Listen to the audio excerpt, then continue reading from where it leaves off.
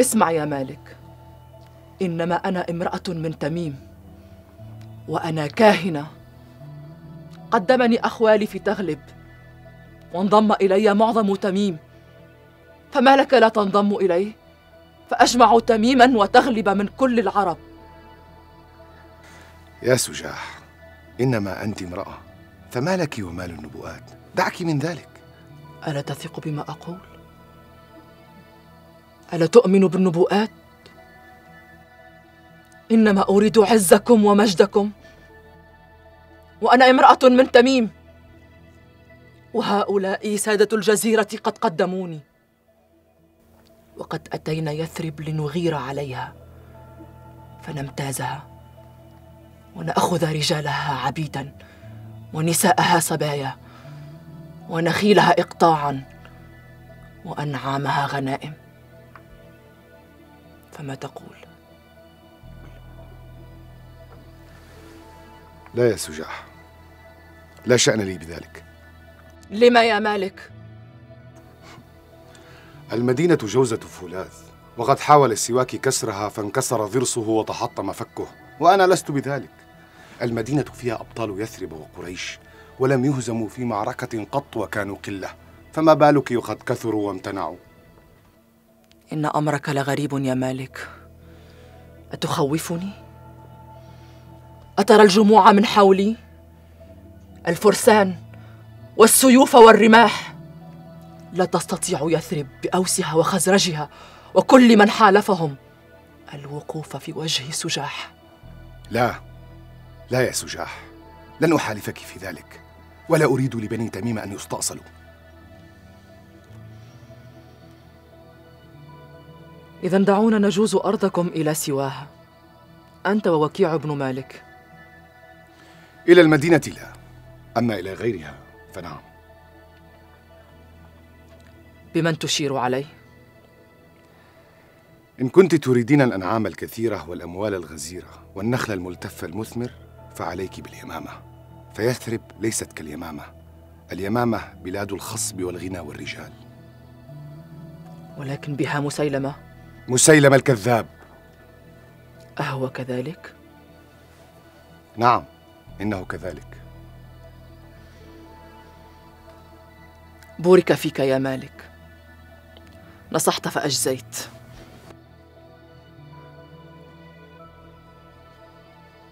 يا معشر تغلب وتميم إن السماء أوحت إلي أن رب السماء قد نفى لكم اليمامة. فالرجال ضحايا والنساء سبايا والنخيل والأنعام غنائم المربطان منهم والسوائم.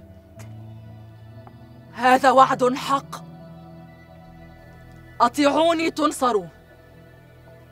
اخذلوني تخذلوا. فدونكم اليمامة.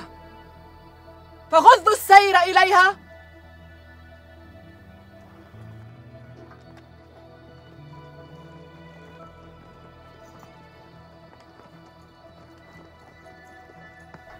يا معشر تميم اسمعوا ما أوحي إليه.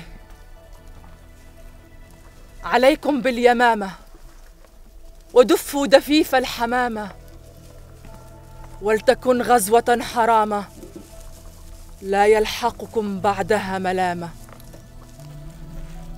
اليمامة حديقة العرب وبستان الجزيرة نخلها باسق غصونه محنية من كثرة الثمر وحلاوة العناقيد. الأرض مرتعها خصيب والنخل مخبأه رطيب. فيها عيون جارية ونعمة سارية. أبيح لكم نخيلها وأنعامها. الرجال قتلى والنساء ثواكل. ما دون أخذهن سبايا مجنون ولا عاقل.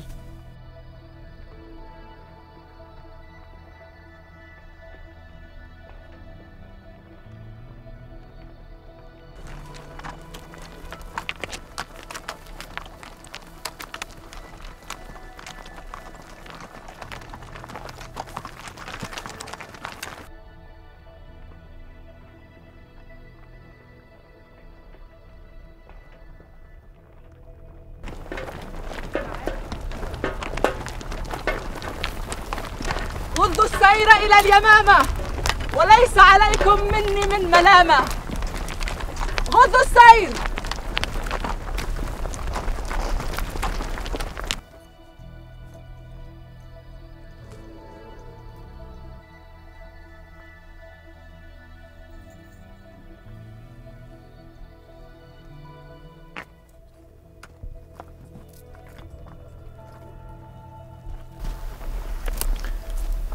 طلبتني يا مولاتي.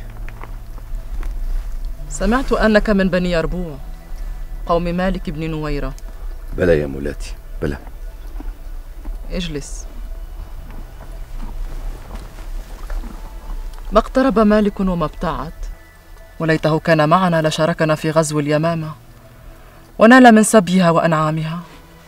لو آمن بك لنال الكثير يا نبية الله. أنت مخلص يا عبدك سلامة اليربوعي أخبرني يا سلمة ما كنت تفعل قبل أن تقدم إلينا؟ أنا فارس أغزو وأغنم وأخضع الرقاب وأسبي يا له من مغنم أغزوت قوم بني حنيفة قط؟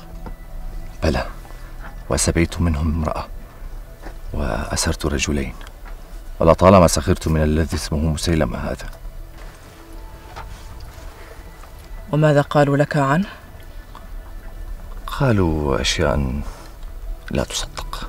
قل إنما نقدم على عدو ويجب أن نعرف عدونا. لا لا أخجل منك يا مولاتي. لا تخجل إنها شؤون الحرب. قالوا إن الوحي يأتيه من السماء بلمح البصر. وقد حرم عليهم إنجاب الذكور إلا ذكرا واحدا. وقد جعل ديار بني أسيد بن حنيفة حرما كحرم مكة. وقد تزوج منهم امرأة. قال إن رب السماء زوجه منها.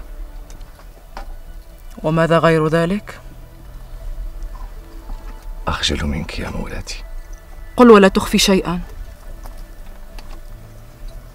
قالوا إن له قوة عشرين رجلا في الباء.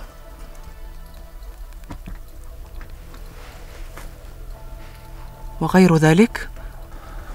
وقيل أنه ما من امرأة عاشرته ورغبت برجل سواه.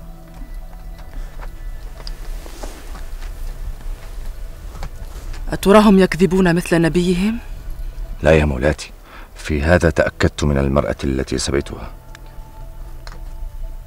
وشهدت بما سمعته؟ وأكثر.